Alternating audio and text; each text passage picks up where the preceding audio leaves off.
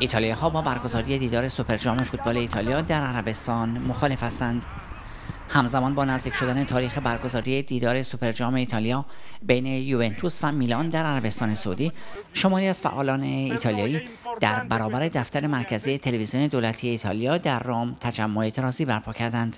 Supercoppa italiana giocata in Arabia Saudita un insulto برگزاری مسابقه سوپرجام ایتالیا در عربستان توهین به حقوق بشره ما اینجا تجمع کردیم تا از مدیران تلویزیون دولتی بخوایم این مسابقه را به صورت زنده پخش نکنه و خبرنگاران ورزشی رادیو تلویزیون هم در آن روز اعتصاب کنند و بر سر کار حاضر نشند تجمع کنندگان همچنین ارسال تسلیحات نظامی ایتالیا را به عربستان محکوم کردند queste bombe le compra l'Arabia Saudita واقعا رسوایی بزرگی است که های ساخت ایتالیا توسط جنگنده های عربستان سعودی در یمن استفاده می شود و بر سر مردم بیگناه این کشور ریخته می شود ما ایتالیایی ها مردمی صلح طلب هستیم اما فروش های ایتالیایی به عربستان اعتبار ما را خدشه‌دار کرده است.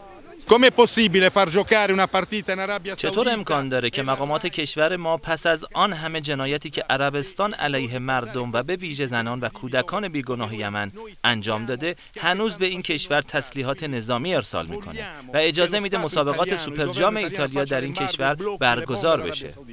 ترجمه کنندگان همچنین اسانسور اخبار مربوط به جنایت های عربستان در یمن به شدت انتقاد کردند. Noi sauditi compriamo il silenzio dei giornali e della tv italiana con petrodollari. ما سعودی ها سکوت مطبوعات و رسانه های جمعی ایتالیا را با دلارهای نفتی می خریم تا آنها قتل عام مردم یمن توسط ارتش عربستان را به افکار عمومی کشورشان اطلاع ندهند.